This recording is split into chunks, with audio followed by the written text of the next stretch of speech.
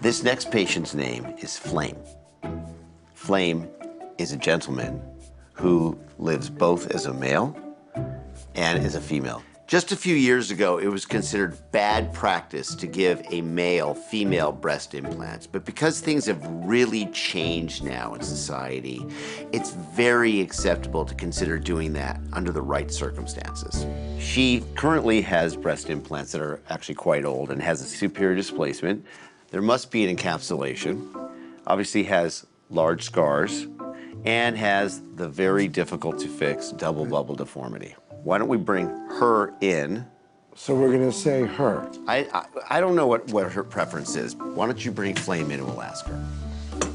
Can you please send in Flame? Flame. Good morning. Hi, Dr. Nassif. Nice to meet you. How are you? Terry Dubrow, pleasure Good to meet morning. you. Nice to meet Please you. have a seat.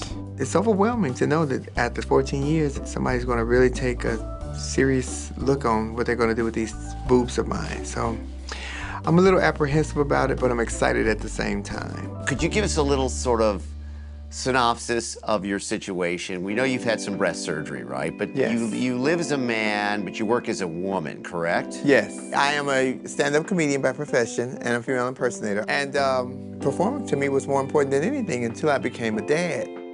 Flame Monroe is a dad by day and a drag queen by night to support his three kids. Okay, I can understand that. That's respectable. You don't consider yourself in a transgender mode, right? I do consider myself transgender, but just not with a whole hoopla ha behind it because I'm dad to my children. I'm Mr. Flame to their friends. Okay, so we, we respect that. So I never took anything off from my anatomy. I only added on. Okay. He and she labels mean absolutely nothing. Flame is everything. Flame is the provider, the moneymaker, the mom, the dad, the brother, the sister, the friend, the provider, the entertainer, the comedian, everything.